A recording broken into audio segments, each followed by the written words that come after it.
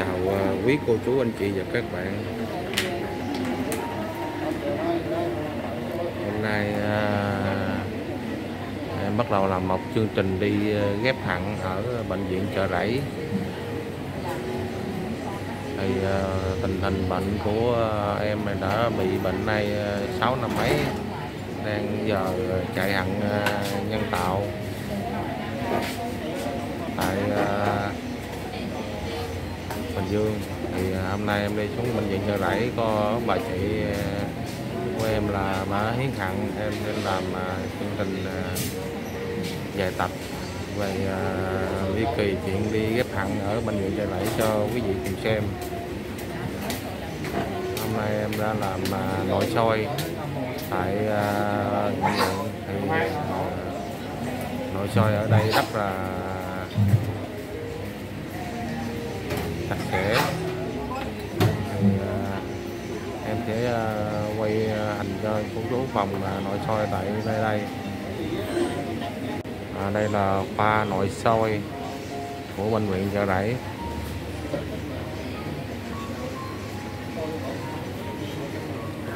Giờ à, có khá đông bà con đến đây đang ngồi chờ để làm nội soi dạ dày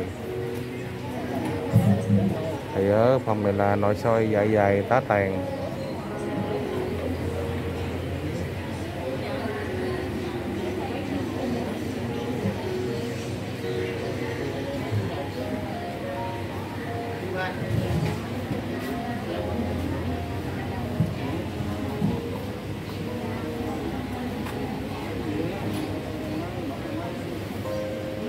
hiện giờ thì à, em đã nồi sôi xong rồi cảm giác của người nội soi à, và đút cái một cái ống màu đen dài khoảng nửa mét vào trong bao tử. Và làm một kiểu ấy, mình rất là nghe muốn buồn nôn muốn ói rất khó chịu. Khoảng à, hơn à, 5 phút. Thì mới xong.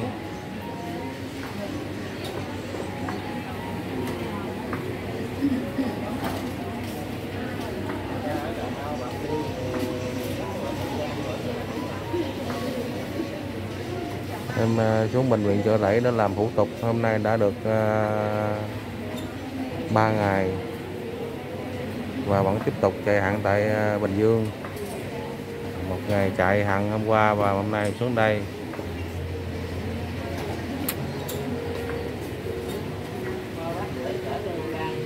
Làm à, thủ tục ghép thận rất là nhiều qua giai đoạn hôm nay mình làm à,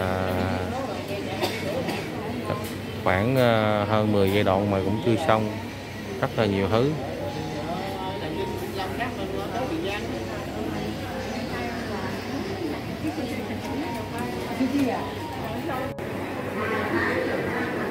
Tại đây là khu đê lầu một của bệnh viện chợ rẫy. Còn ở dưới là khu à, tầng trệt có cả căng tin cho mọi người còn uống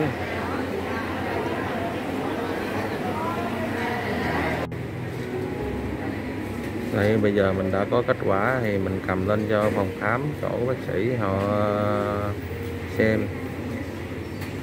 Mình đã bị ờ, lát nông hang vị viêm teo, niêm mạc dạ dày.